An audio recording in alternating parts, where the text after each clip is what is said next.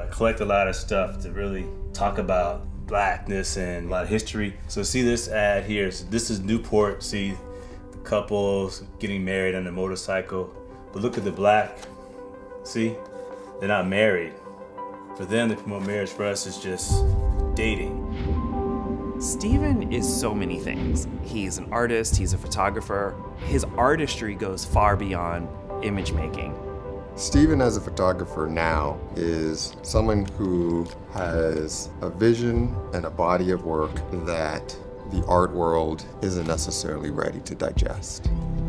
He captures the depth and essence of black people, the dignity, the honor, and glorifying black images.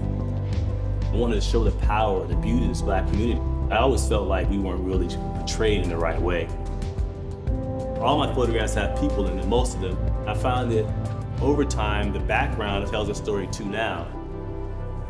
When people look at his work, it probably hits a nerve with them because it's not there anymore. Soul is everything. If you can get a piece of art that has soul in it, it literally lives forever. His work captures a piece of history. The art gets to speak. It would be a really good time for people to start paying attention